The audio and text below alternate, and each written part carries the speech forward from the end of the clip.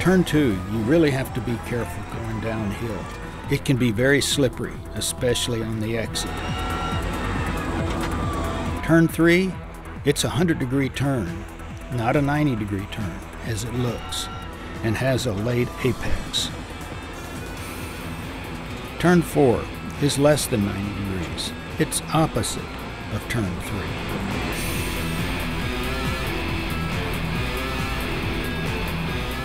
Turn 5, 90 degrees plus, and it's banked, which is to your advantage. But you need as much speed as you possibly can afford. After the turn, it's uphill.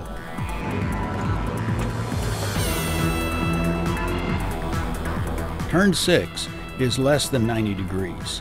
Get your braking right, or you will be off the track with your skin in the wind. It's very deceptive.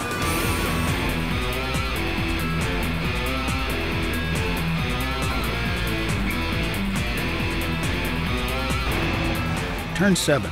It's easy, only a bend, but you need to keep your speed up so you can enter turn 8. Turn 8. This one's the corkscrew. Set yourself up all the way to the right, and then to the left, and aim for the middle tree. Turn 9. It's a long sweeper, downhill, and you gain lots of speed, but be respectful. Turn 10. Set yourself up keep as much speed as you possibly can, but you're going to enter a 90 degree turn.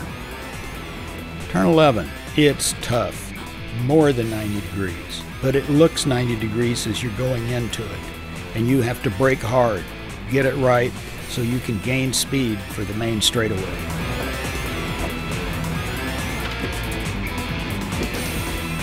Good setup, but too much speed and I didn't brake hard enough and paid the consequences.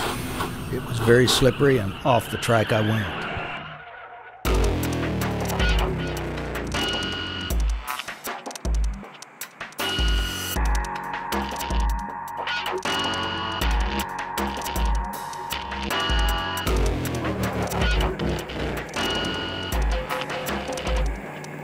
Well, I got one lap in.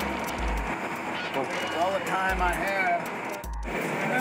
No, just looking to see if the uh, under tray is still intact after that spin. It is, at least back here, but I'll, I'll look at the front too and check it.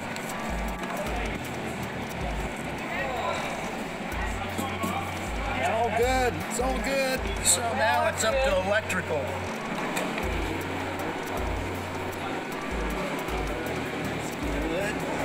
Yeah, that was quite a spin. I went through that turn, set it up perfectly, had enough speed to get through it, but coming out of it, I had too much speed. Went off to the right into the rumble strip. That upset the balance, and I spun. Here I was, backwards, facing traffic. And then they had to tow me off. Yeah, at first I thought I might have knocked out one of the main cables that come from the power pack to the controller because controller's down low. And but fortunately those were good and tight because they're pretty beefy. So then I came back here and looked at the battery because I figured at that point the computer lost its memory. So I disconnected the battery, let everything die down electronically, hooked it back up, and everything's good to go. So we're back in the race.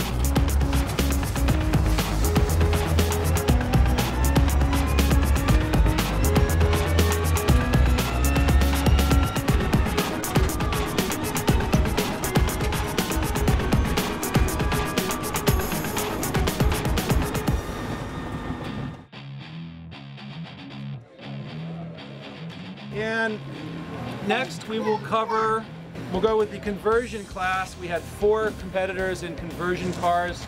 It's a manufacturer car that's converted electrically after the fact.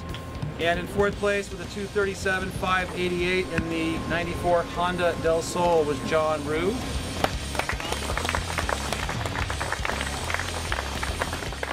And in third with a 225 297 in the Mazda Miata was Roger Derryberry. Roger, you here?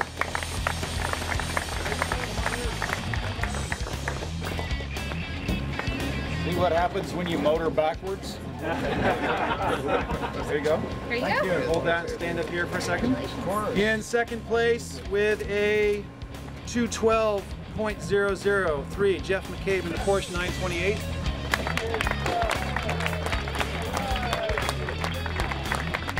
Okay, and uh, in first place with a 149.036 in the BMW M3 conversion, Michael. Yes.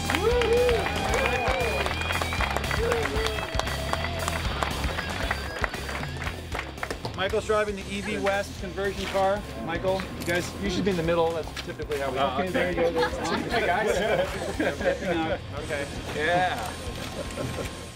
Well, at least we got on the podium with a third, and uh, even though I was motoring backwards, I guess there's some justice in it.